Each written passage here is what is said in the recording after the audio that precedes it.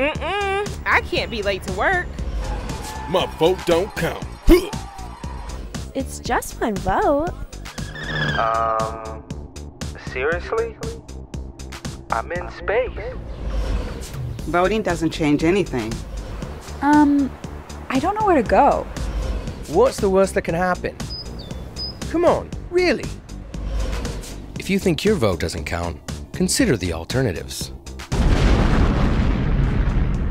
Introducing Precinct 149, Wayne State University's brand new polling station right on our campus. Only one of two campuses in the state of Michigan to offer a voting center.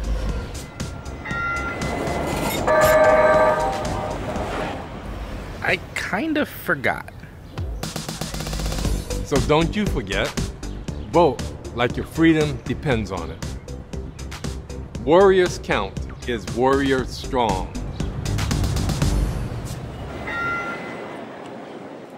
Houston, we have a problem.